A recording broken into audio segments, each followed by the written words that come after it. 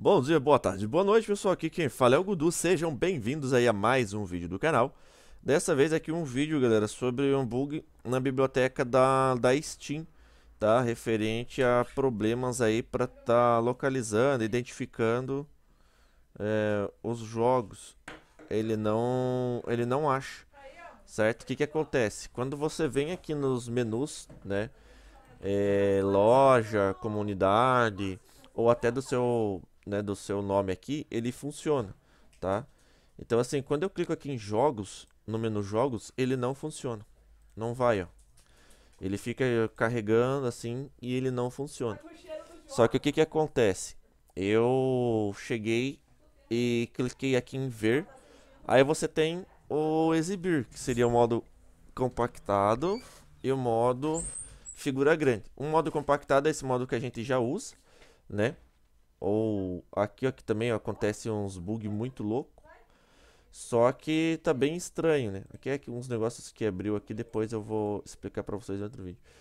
Só que ele fica bugadão assim, entendeu? E não sai daqui, sabe? É muito estranho, cara. Aí tem que tentar verificar aqui o, os menus aqui, né? E tentar tirar desse modo aqui e voltar pro modo grande, tá? Então esse seria um dos primeiros bugs, tá? É, outro. Aí você fala, ah, mas é por causa que você tem que reiniciar o computador. Beleza, eu ainda não reiniciei essa.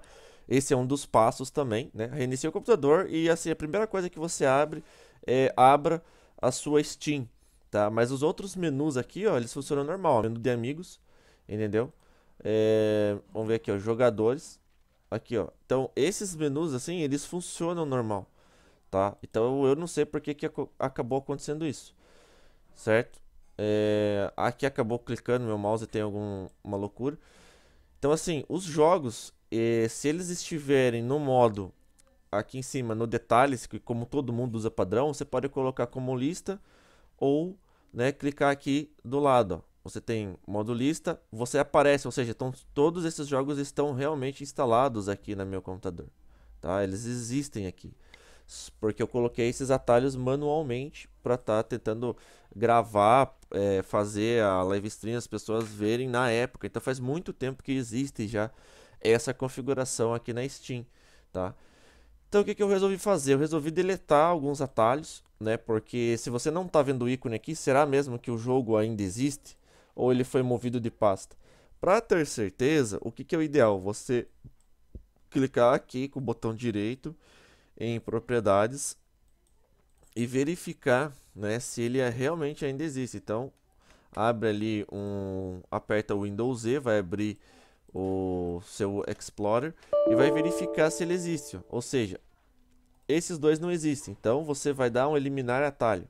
Clica com o botão direito, eliminar atalho. Os jogos que existem aqui, o ícone, né, você pode estar sim mantendo eles, porque provavelmente é isso o defeito, entendeu? Aqui tá no D, dois pontos. Cara, copia e cola, entendeu? Cola aqui e dá um Enter. Ele não achou. Ah, se você achar que não está encontrando, você pode vir, executáveis, CS 1.6 e dá um Enter. Realmente não existe essa pastinha aqui, ó. Ele abriu aqui como executável e tal, ele não funcionou. Abriu como Explorer lá, né? Mas estaria no executáveis, CS 1.6 a pasta existe e existe aqui também o é que eu coloquei com, com aspas aqui, foi sem querer, né? E a princípio existe esse atalho aqui. Porém, como eu não estou jogando o, o CS e tal, eu posso tentar até abrir ele, dando dois cliques aqui, ele vai verificar a integridade e vai abrir aqui o jogo, entendeu? Então, vou só dar um ESC para fechar aqui, para sair do, do jogo. Não sei se deu tela preta aqui, vou dar um kit game. Ele pediu permissão aqui, beleza? Permitiu acesso. Então, assim, esse jogo aqui é um jogo que tá funcionando, mas, é, mas não tá. Então, assim, no CS eu não preciso mexer, porque pode ocorrer que o próprio Steam, né? Eu, que nem falei, eu tenho que reiniciar o computador também para testar, mas alguns atalhos aqui eles não funcionam, tá? Então é interessante verificar aqui porque é estranho ele não tá buscando o ícone, ó. Ele acaba dando esse flash assim. Ah, mas daí é de vídeo que tem que instalar, etc, etc. Aqui ele está procurando o Hearthstone no E, né, no E2 pontos e tal. Eu já não tenho mais E2 pontos, então não existe mais esse atalho. Então eu vou vir aqui, Heróis Storm também provavelmente vai estar tá no E. Eu posso até alterar manualmente aqui, ó, colocar no D e aqui no D. E clicar aqui em fechar. Não sei se ele vai acabar surgindo o atalho do Heróis of Storm, mas depois se um dia eu for voltar eu coloco ele aqui pela Steam, etc. Né? Então aqui eu vou eliminar o atalho. É, League of Legends, que é do client também, está no E aqui, deveria estar no D, né? Então eu vou eliminar o atalho também. O Legend Online, acredito que ele esteja no ó, D, Guild, Launcher, mas cara, faz anos que eu não jogo, mas como ele tá achando, eu vou acabar mantendo aqui. No C, ó, não instalei mais o Legend Online, então não adianta. Vou acabar excluindo também. O OBS, que existe aqui no computador, mas a princípio ele tá tudo ok. O League of Legends eu vou eliminar o atalho. Point Blank, que provavelmente tá no D. Point Blank Launcher, acho que não, não tá funcionando, mas assim, não é, copiem as aspas, senão não vai achar. O D Point Blank também não funciona, então já posso estar tá eliminando atalho. StarCraft 2, deixa eu ver onde é que ele fica. Ah, no E, né, pra variar. Então eu vou estar tá eliminando atalho também. O launcher do Terra aqui, muito estranho, cara. Porque realmente aqui tá no D. Eu, eu acessei o Terra esses tempos atrás, né? E aqui, ó, agora abriu certinho aqui o, o launcher do Terra. Mas, não sei se ele vai procurar, acredito que não vai achar. É, então eu posso eliminar o atalho. Aqui é do Terra Online também, eliminar o atalho e deixar a princípio só os jogos. E eu não sei porque que o Chrome não está achando, mas vamos eliminar o atalho também. Esse daqui é porque não está instalado. E podemos tentar ver se ele acha que agora, olha lá, já está funcionando, entendeu? Ou seja, o ver detalhes já está funcionando. Simples, prático e fácil para resolver esse bug aí, esse problema. Aonde você é, tem que realmente é, tipo excluir os atalhos, só que por um outro formato, tá? Tem que excluir realmente por um outro formato, que nem o Legend Online já está aqui também, né? Não era para estar, tá, mas enfim. Visto que alguns jogos que estão até no começo aqui, né, que eu tinha adicionado, porque o que, que eu fiz? Eu vim aqui, ó, adicionar um jogo que não é da Steam. Ele vai dar vários jogos aqui, ó, aqui o BF4 aqui, ó. Ele vai dar vários jogos aqui, cara. Vai dar todos, ou a grande maioria de programas que está instalado. Então aqui eu vou colocar o BF4 de novo. É, deixa eu ver o que, que dá para colocar aqui. Porque o que, que acontece? Quando eu abro esse, esse jogo por dentro da Steam, o pessoal vai ver que eu tô jogando o game por dentro. Entendeu? era um, uma estratégia tá? que eu tinha usado algum tempo atrás, entendeu? Eu tinha usado essa estratégia. Vamos ver se funciona, beleza? Eu tinha usado essa estratégia porque quando você vem aqui nas opções, ó, em definições, né? Tem aqui a parte de streaming, tá? Eu tenho um vídeo aí ensinando como é que faz para configurar isso, porque assim que eu inicio, hoje eu já não, não jogo mais nada pela Steam faz muito tempo, então, assim que eu abria um jogo, eu olhava aqui, vinha, né, na minha parte do, do streaming aqui, tá? Do, do, do link, entendeu? Aqui tinha o código PIN, mas eu acabei não, não utilizando. As opções avançadas de, do que, que você quer aqui, ó. Tem vários, ó, ativar codificação pela GPU da NVIDIA, pela GPU da Intel ou pela AMD. Eu até vou aqui de trades de codificação por software, que são as trades do processador, né? ele pode usar quantas trades ele quiser, mas geralmente é interessante é... que o que, que acontece nessa. Esse daqui eu já estou mudando de assunto, eu já resolvi, já mostrei para vocês. Seria mostrar aqui opções, ó. É, quer ver? Cadê, cadê, cadê? Exibir. Ah, aqui não vai dar. Aqui tá agrupar por tipo, né? Mas teria o, a opção aqui de CPU para mostrar vários. É que eu estou usando Windows 10, mas enfim. Ele, ele mostraria os oito, os oito, as oito threads, né? As, os oito núcleos aqui, tá? Então, nessa situação você consegue é, ver o, o, os processos aqui por, por, cada, por cada thread, tá? Enfim, é, esse daqui é só um, só um pequeno detalhe do porquê né, que eu coloquei os jogos ali pela, pela stream do da Steam. Só que assim, não é muito bom, então eu acabei não utilizando, tá? É, qualquer pessoa pode ver. Aqui realmente está desligada a, a stream, né? Eu tinha que ficar clicando aqui para ver se ela estava funcionando ou não. E meus amigos veriam eu jogando o game e tudo mais. Se eu fosse aqui na minha lista de amigos, né? Clicar aqui, olhava assim, ó, que nem o rapaz aqui tá jogando Dota.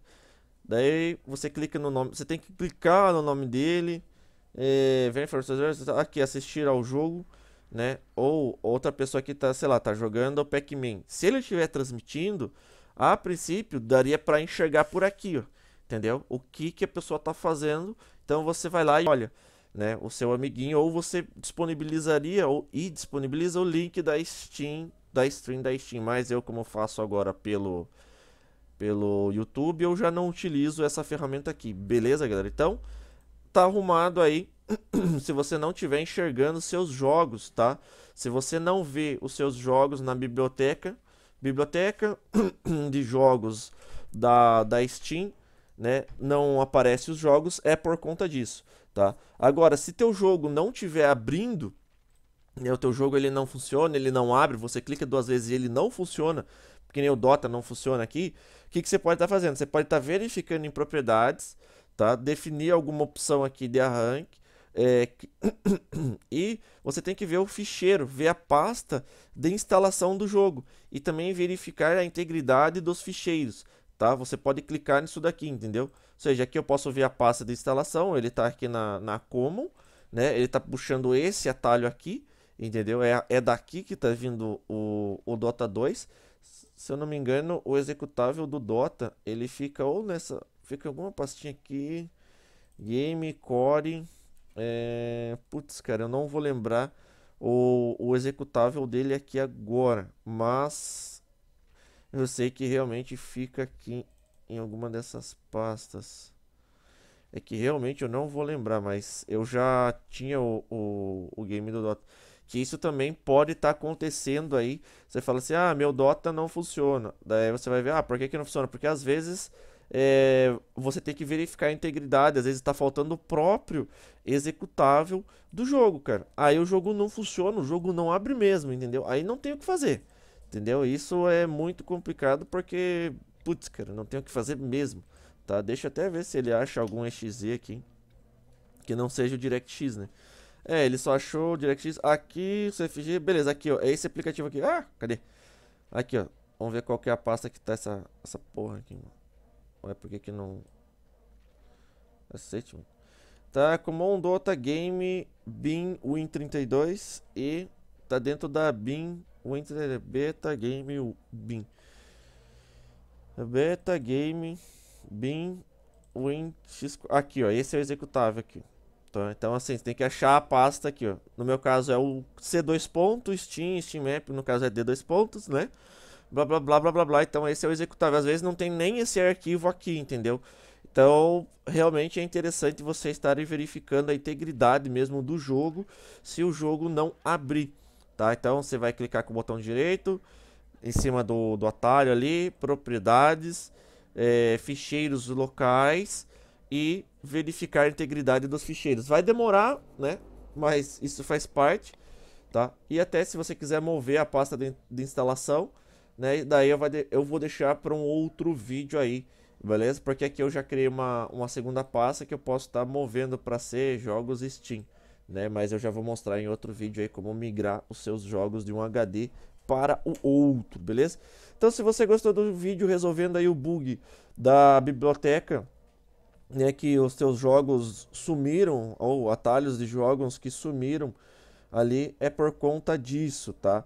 Aí você fala assim, ah, mas eu tenho, eh, eu formatei o HD e eu quero jogar eh, para Steam localizar os meus jogos, ou seja, eu peguei a pasta da Steam, dei um Ctrl C, joguei para pasta de backup, isso galera vai ficar para outro vídeo, mas a princípio é só clicar no ícone da Steam, tá? Porque eu fiz isso no meu aqui, você fala assim, ah, é, sumiu.